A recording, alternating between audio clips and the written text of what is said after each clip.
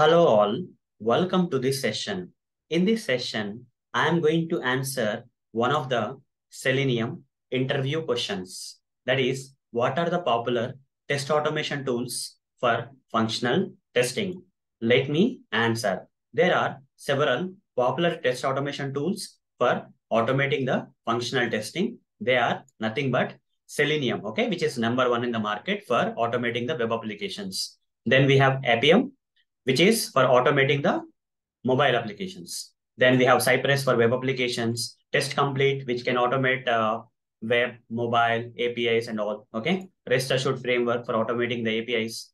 Then we have Katalon for automating different things like web, mobile, APIs. Then we have Ranorex. We have UFT, which can automate uh, API, UI, and uh, mobile. And we have Robot Framework, and there may be many other, but these are the popular noted ones, okay? That more people discuss in the market, okay, as popular test automation tools for functional testing.